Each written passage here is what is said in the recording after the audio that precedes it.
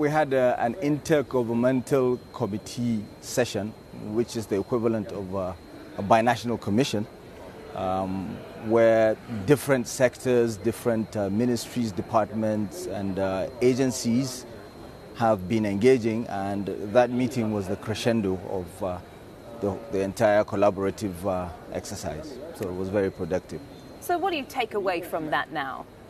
Uh, more investments mm-hmm. from China to Nigeria. There are quite a number of um, projects under the, the FOCAC, the Forum for China Africa uh, Cooperation, which is part of the Belt and Road Initiative. So, more infrastructure proje- uh, projects, which is what we need. Uh, there are already quite a number of ongoing um, infrastructure projects.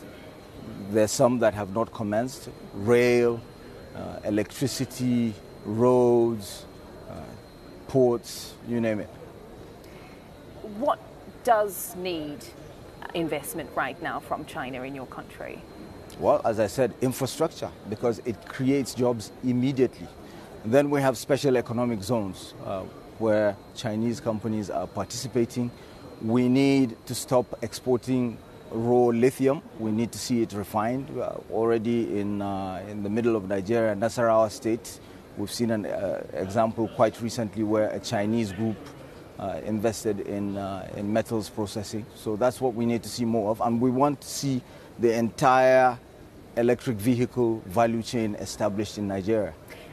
And Elon Musk hit a snag in your country because of that very rule, right? Absolutely. Yes. And so I just want to um, point out that you have seen $300 million worth of Chinese investment in lithium processing capacity. Um, that is coming from China because now they are processing that lithium in your country. So, are we going to see more of that? And how is that transforming the industry in Nigeria? It will create more jobs. Uh, and then along the value chain, also, it would give investors more confidence to set up assembly plants for electric vehicles and ultimately to produce electric vehicles from Nigeria. And uh, we have to uh, bear in mind that uh, Nigeria provides the entry point to the African Continental Free Trade Area. And of course, President Bola Ahmed Tinubu has been doing, doing a lot of reforms, macroeconomic reforms.